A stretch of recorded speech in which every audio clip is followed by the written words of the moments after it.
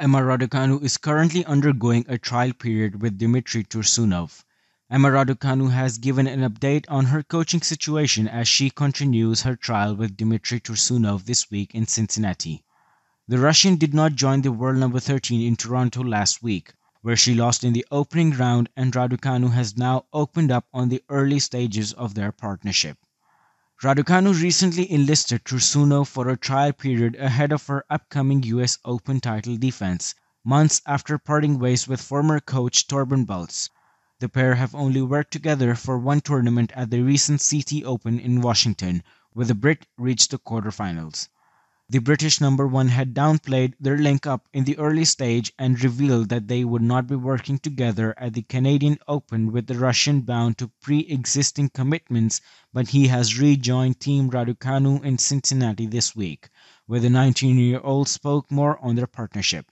He is here. We are continuing the trial, she said ahead of a blockbuster opening round clash with Serena Williams.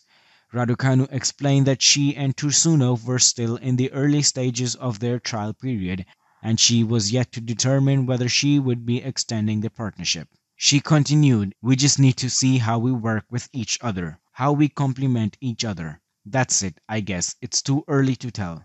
The US Open champion's word come after the Russian Tennis Federation was quick to claim ownership of her new coach after Tursunov turned down the chance to work with young players from his home nation. Staking his claim, RTF president stated, He is ours. He happens at our training camps.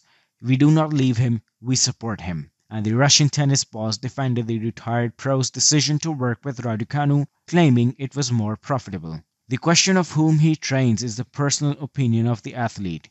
We once offered him to work just like Chesnokov, but he chose a different path. It is more profitable to train one of the leading athletes today, he added.